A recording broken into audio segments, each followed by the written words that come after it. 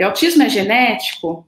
Tá, uhum. mas se é genético é porque. Mas como que é genético se nem o pai nem a mãe é autista? Mas eu não tenho nenhum autista na família. Como que autismo é genético? Então é legal a gente é, explicar para vocês esses conceitos, né? Que às vezes as pessoas acham que tudo que é genético tem que ser hereditário, tem que estar tá na família.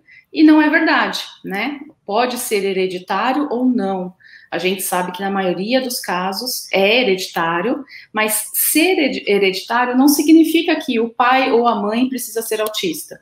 Significa que ou o pai ou a mãe carregam genes relacionados ao autismo que neles não manifestou autismo, mas quando passa para um filho, toda a combinação genética da criança, com outros fatores envolvidos, aí a criança é, apresenta o autismo. Então, uma coisa, tudo que é genético, né, tudo que é hereditário é genético, mas nem tudo que, que é genético é hereditário. Então, é importante isso, para vocês saberem que às vezes acontece uma alteração nova durante o desenvolvimento embrionário daquela criança. Então, é uma mutação, uma alteração genética que não é familiar, não é hereditária.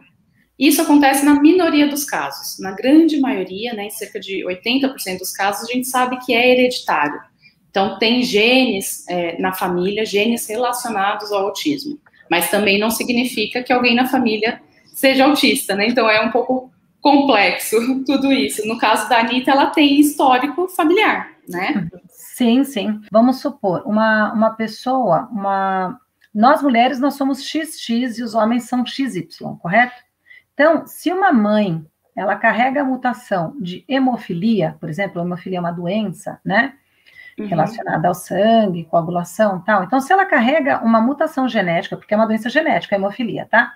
E a mãe tem essa doença, ela tem uma chance, acho que em 47 milhões, se eu não me engano, de desenvolver a doença. Por quê? Porque ela tem dois cromossomos X. E justamente a deficiência genética da doença hemofilia, ela está bem nesse X. Então, uhum. se ela tiver filhos homens, todos os filhos homens que ela tiver, quase 100% de chance de todos nascerem com hemofilia, porque o homem ele é XY, ele, então ele não tem dois X para poder protegê-lo, e nós mulheres nós temos. Então, a chance dela ter uma filha mulher com hemofilia é 1 em 47 milhões, eu acho. E a chance dela ter um filho com hemofilia é quase 100%, porque todos os homens, praticamente, filhos dela, vão nascer com hemofilia. Já se você tiver, por exemplo, polidactilia, que é quando você nasce com dedos a mais, né? Você nasce com um dedinho a mais aqui, outro aqui, é genético, mas não necessariamente hereditário. Então, não é certeza que se você nascer com polidactilia, se tiver um dedinho a mais, que todos os seus filhos também vão nascer. Pode ser que sim, pode ser que não. A maior né, que, que não vai acontecer. Então, algumas questões nossas, genéticas, elas não necessariamente vão passar para os nossos filhos. E outras questões, uhum. necessariamente, ou uma grande parte, irão passar para os nossos filhos. O autismo, ele tem uma combinação genética complexa, tá, pessoal? Isso que é bem importante. No autismo não é assim, gente, que o caso é o autismo, é o gene XYZ. Pronto, é esse daí e não. Não, é uma combinação complexa de genes relacionados e também essa, essa combinação de genes ela está associada com o ambiente tanto intrauterino quanto extrauterino depois que será o desenvolvimento dessa criança. Então, é uma complexidade uhum. genética que a gente não tem uma única causa, nós temos causas para autismos uhum. diferentes. Por isso que um autista nunca é igual ao outro, tá bom? Então, Exatamente. tomara que tenha ficado mais claro para vocês entenderem. Na nossa família, existe uma questão de genética e hereditariedade. Uma questão importante da gente entender também, pessoal, é que o autismo é a questão hereditária dele. Então, por exemplo, na minha família tem o meu pai, que já uhum. tem autismo, foi diagnosticado já na fase adulta. O diagnóstico do meu pai escrito veio quando eu tinha 72 anos. Veja bem. O meu diagnóstico eu tinha 46 anos, 44 anos. O do meu irmão com 38 anos. Então, nós fomos diagnosticados tardiamente. Por quê? Porque antigamente não se sabia de autismos de grau 1 né? Que é o do, do, grau leve, assim, que a gente fala que a gente não gosta muito de falar leve, porque dá a impressão que já que é leve, a pessoa não sofre, já que é leve, a pessoa não tem dificuldade, já que é leve, uhum. então o que está sentindo é frescura, né? Então, o de grau 1, que é conhecido como grau leve.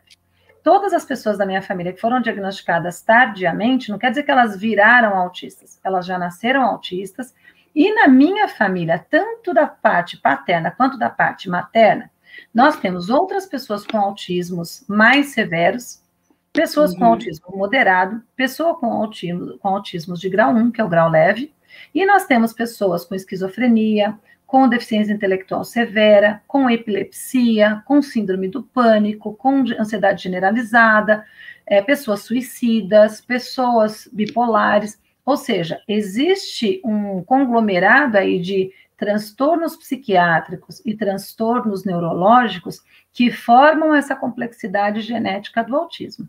Então, uhum.